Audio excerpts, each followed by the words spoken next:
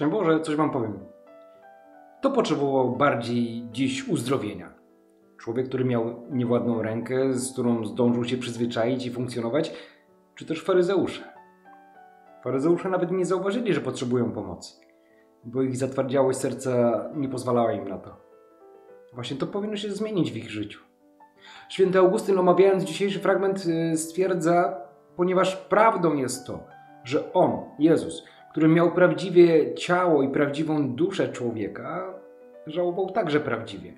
Dlatego mówi się prawdę, opowiadając, że zasmucił się z gniewem z powodu zatwardziałości serc Żydów. Działanie Jezusa nie jest udawane. Jego miłość względem ludzi nie jest sztuczna. On wszedł w życie ludzkie autentycznie i do końca. Nic więcej już nie mógł czynić. I ciągle jest pod obserwacją i ciągle szemrze się przeciw niemu, że postępuje niewłaściwie, bo przepisy mówią co innego. Wczoraj mówiliśmy, że prawo jest dla człowieka, dla porządku, dla właściwej hierarchii, dla dobrego życia. Jeśli prawo nas przytłacza, to coś z nim jest nie tak. Faryzeusze byli gotowi powiedzieć, że to oni są prawem, bo stoją na straży. Jednak uczciwie patrząc, blokowali wszystko, co miało dobre intencje.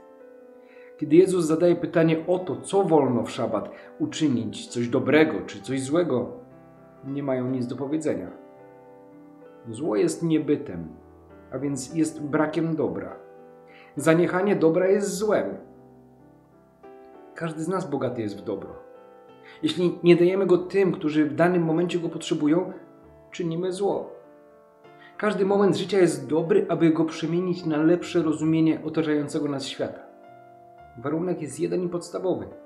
Trzeba przyjąć logikę myślenia i działania, którą przedstawia nam Jezus. Musi zatem w nas być ufność, która bezgranicznie odda nas w ręce samego Boga. Jezus zadaje dziś pytanie, na które nie pada odpowiedź. Pytanie wydaje się proste: co wolno uczynić w szabat? W swej prostocie jednak to pytanie jest kompromitujące, bo obnaża prawdę o człowieku, o jego sercu. Faryzeusze milczeli, bo wiedzieli swoje. Jezus to zły człowiek, bo działa przeciw nim. Nie potwierdza ich nauczania, nie postępuje według ich zasad, nie zachowuje przepisów i działa w sposób prowokacyjny. Więc należy go oskarżyć, osądzić i zabić. Jezus widzi poranione, zatwardziałe serca faryzeuszy i pragnie z całą swoją miłością dotrzeć przede wszystkim do nich, bo to one najbardziej tej miłości potrzebują. Niestety, bez woli człowieka Jezus nie dotknie jego serca. Dlatego rodzi się bezsilny gniew. Tyle, że gniew Jezusa nie prowadzi do złego działania, jak to ma miejsce w przypadku faryzeuszy. Chrystus przyszedł głosić Ewangelię wyzwolenia. Jednakże jego przeciwnicy dalecy są od tego, by dać się przekonać. W tym samym czasie, gdy jesteśmy świadkami działania łaski, doświadczamy zatwardziałości serc niektórych ludzi, myślących e, w swej pysze, że prawda jest ich po ich stronie.